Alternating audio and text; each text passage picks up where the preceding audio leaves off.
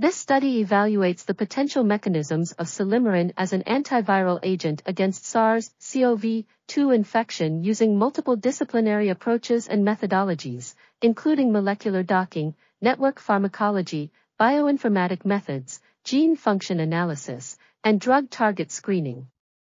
Silymarin compounds, such as silybin A, B and silymonin, displayed triplicate functions against SARS-CoV-2 infection, including directly binding with human angiotensin converting enzyme 2, ACE2, to inhibit SARS-CoV-2 entry into the host cells, directly binding with viral proteins RDRP and helicase to inhibit viral replication and proliferation, and regulating host immune response to indirectly inhibit viral infection.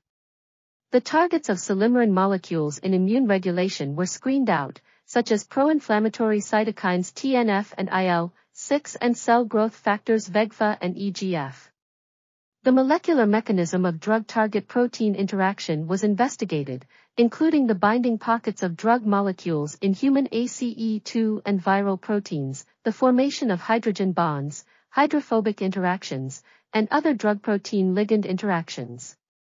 Finally, the drug likeness results of candidate molecules passed the criteria for drug screening. This article was authored by Chunye Zhang, Yuxiang Sui, Shuai Liu, and others. We are RTCL.TV, links in the description below.